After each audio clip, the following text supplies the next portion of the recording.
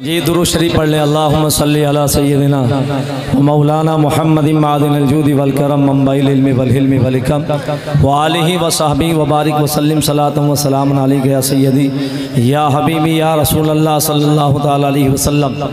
मुबलिग इस्लाम अल्लामा खुशतर रहमतुल्लाह अलैह फरमाते हैं, जहाँ मैं रहता हूँ, हज़रत ने अपनी सारी ज़िंदगी का एक माहसल अपनी एक रुबाई में बयान फरमाया और फरमाते हैं, मताए ज़िंदगी मेरा यही है, शह बगदाद का हूँ मैं भिकारी रही धुन मसल के अहमद रज़ा की, इसी में ज़िंदगी सारी गुजारी।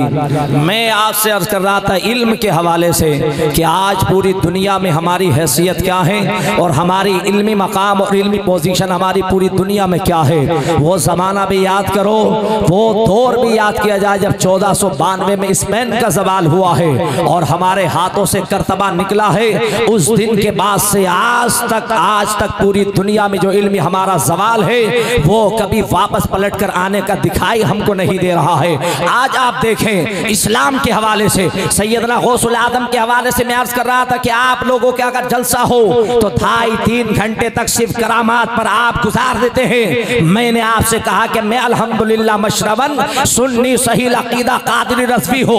मैं मिनहाइसुल करामत का मुमकिन नहीं। मैं तो ये कहता हूँ कि गौसे आदम रदी अल्लाह बेशक कसीरुल करामात अल्लाह के वली है, बल्कि मैं उससे बढ़कर एक जुमला कहता हूँ कि जिस तरह से और अम्बिया कराम दुनिया में तशरीफ़ फरमा हुए, उनको अल्लाह तबारक व तआला ने गिने चुने मोजजात अता फरमाए। लेकिन मेरे आका को भेजा तो मोजजात देकर नहीं, बल्कि सरापा मोजा बनाकर भेजा है। वो चले तो मोजा, वो उठे तो मोजा, वो बैठे तो मोजा, वो तकल्लुम नवा हो तो मोजा, वो तबस्सुम जा हो तो मोजा, वो सुल्फ है चेहरे पर लाल पे डाल दे तो मोजा उनका मोजा ये है कि पेशानी ऐसी जैसे फल फजर की आयत की अमीन हो और उनके चश्मान मुबारक ऐसे जैसे बहरी ने तकद्दुस के नगीने हो और उनके रुखसार ऐसे हैं जैसे बदुहा का मुसाफ खुला हो और उनकी सल्फे वल्लैल ऐसी है जैसे वल्लैल की चादर तनी हुई दिखाई दे रही। वाह भाई वाह जिंदाबाद जिंदाबाद ऐसी है जैसे वल फजर की आयत नमूदार हो रही हो। उनका रुख ऐसा है, जैसे बदुहा का सूरज शर्मा रहा हो।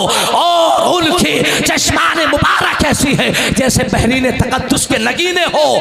ये मुस्तफ़ा है, वो सरापा मौजदा है। तो जिस तरह से मुस्तफ़ा सरापा मौजदा है, इस तरह से होश आज़म सिर्फ़ वली ही नहीं, बल्कि सरापा करामत है। वो उठे तो करामत, वो बैठे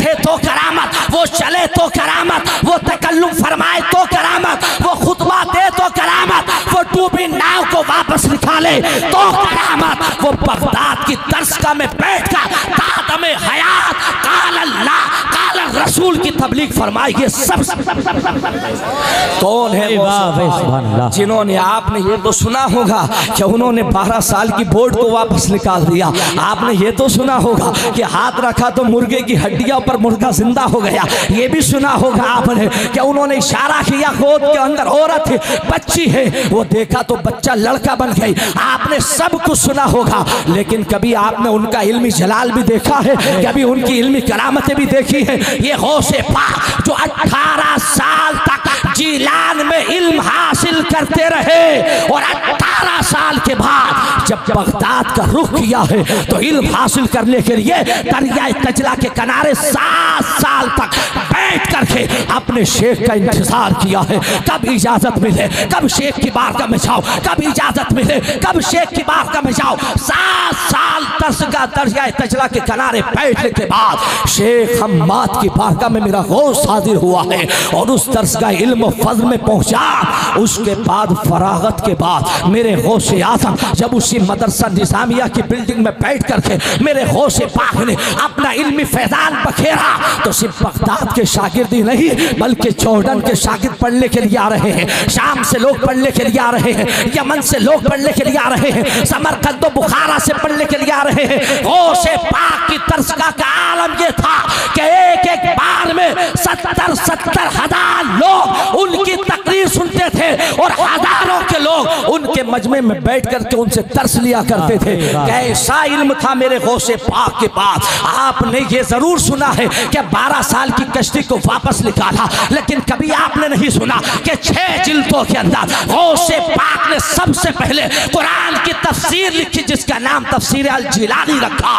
कभी आपने सुना कि गौसे पाक रज़ी अल्लाह बैठे, उस दौर का अपने वक्त का मुहद्दिस, जिसको इल्म हदीस में अठरोटी का दर्जा हासिल है ये उलामा बैठे हैं। जब रुबात पढ़ाई जाती है असमा और रिजाल की किताबें पढ़ाई जाती है, बिना इस मुसन्निफ के और बिना इस मुहद्दिस के कौल पूरा नहीं होता। वो कौन है जिसे दुनिया मुहदस आज़म, मुफस्सिर आज़म, अल्लामा इबन चौजी के नाम से जानती है? ये मुहदस इबन चौजी है। ये कहता है, मैं समझता था कि बगदाद में न मुझसे बड़ा कोई मुफसर है, न मुझसे बड़ा कोई मुहदस है। मैंने अपने शागिर्दों से कहा, क्या हो से आदम की बात करते हो?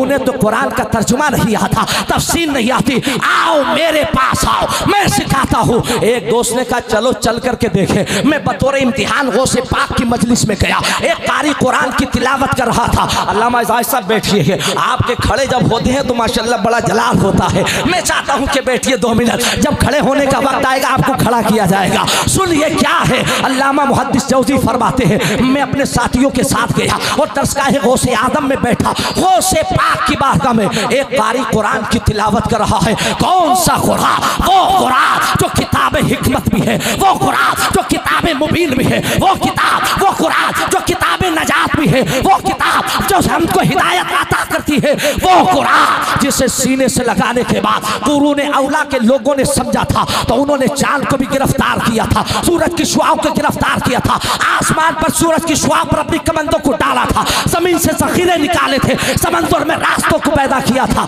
कहाँ से किया था, ये टेक्नोलॉजी कहाँ से आई थी, ये कहाँ से हासिल हुआ था तो उन्होंने क्या कुरान से हुआ था, हमने कहा, कुरान से कैसे तो अल्लाह पाक फरमाता है, तिबियान हमने हर चीज़ का बयान कुरान में रखा है, हर छोटी चीज़ का कुरान में बयान, बड़ी चीज़ का कुरान में बयान, खुश को तर का बयान कुरान में है शमशो कमर का बयान कुरान में है पागो बहर का बयान कुरान में है, शजरो हजर का बयान कुरान में है।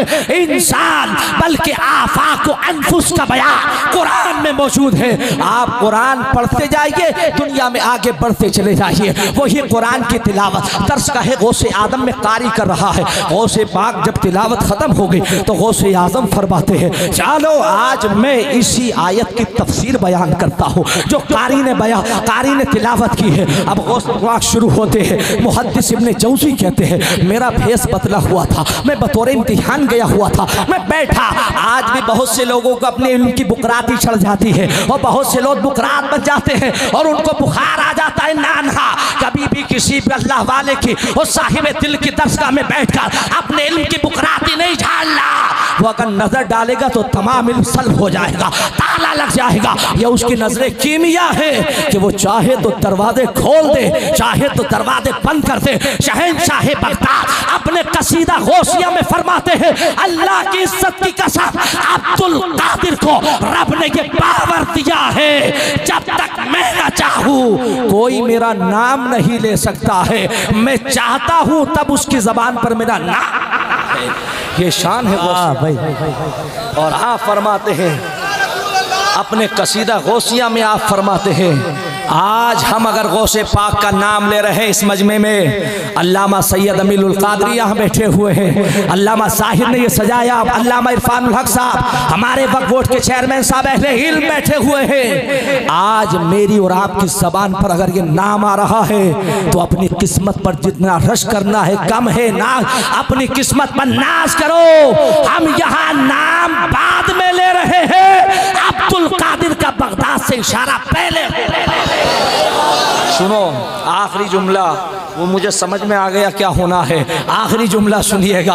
आखिरी जुमला ये है कि मुहद्दिस इब्ने जौदी फरमाते हैं कि गौसे पाक ने जब उस आयत करीमा की तफसीर को बयान किया तो मेरे साथी ने कोनी मारी का, आप जानते हैं? तो कहा, जानता हो। फिर दूसरी तफसीर बयान की कि इस आयत का एक रंग ये भी है, इस एंगल से भी समझा जा सकता है। फिर कोनी मारी का आप जानते हैं? मैंने कहा, जानता हूँ। एक, दो, तीन, चार, पाँच छः सात, आठ, नौ, दस, ग्यारह तफसीर बयान की अब्दुल कादिर ने। मेरा दोस्त मारतरक, आप जानते हैं, इसका ये रंग भी है, इसमें ये राज भी छुपा हुआ है, इस आयत से ये भी समझा जाता है। मैंने कहा, मैं जानता हूँ, मैं जानता हूँ। अब्दुल कादिर फरमाते हैं, इसकी बारहवीं तफसीर ये है। मुहद्दिस इब्न जौजी कहते हैं, मेरे दोस्त ने कहा जानते हैं कहा नहीं जानता? बारह से लेकर के तेरह, चौदह, पंद्रह, चालीस तक अब्दुल कादिर जिलानी ने तफसीर बयान की। मुहद्दिस ने जौजी कहते पहली गहरा तो मैं था लेकिन बारह से लेकर जब चालीस तक का सफ़र हुआ तो मैं गुम हो गया। हे अल्लाह, ये कैसा इल्म है? हे अल्लाह, ये कैसा समंदर है? ये कैसा बहरे बेकरा है? ये कैसा दरिया है? ये कैसा इल्म का धारा बह रहा है? कि मुहद्दिस इब्न जौजी कहता, मुझे पता ही नहीं था कि बारहवीं अंगल ये भी है, इसकी रंग ये भी है, इसकी तफसीर ये भी है। और फरमाते हैं, मुहद्दिस ने जौजी, ये यही बस नहीं हुआ। अब्दुल कादिर ने चालीस तफसीरें बयान करके फरमा सुनो ये तो काल की तफसीरें थी। अब मैं तुम्हें हाल की तरफ़ लेकर के आता हूँ। इतना जुमला कहा था। तो मुहद्दिस इब्न जौजी ने गिरेबान पकड़ा, अपना गिरेबान चा किया और वहीं पर अपनी पगड़ी उतार कर रखी और कहा, अब्दुल कादिर, दुनिया के सारे मुफस्सिर बच्चे हैं। उनका अगर कोई बाप है तो अब्दुल कादिर चेला। भाई, नारे तकबीर, नारे रिसालत। नारे गौसियत। मसल के आला हज़रत फैजान गौस आज़म ये भी एंगल है गौसे पाक को समझने के लिए। इल्म समझिएगा, दरसगाह काम कीजिएगा। फिर कभी आएँगे तो आपसे इल्मी गुफ्तु करेंगे। I will come back next time इंशाल्लाह ताला। आई विल मीट यू माई अल्लाह ताला। All bless you thank you very much अस्सलाम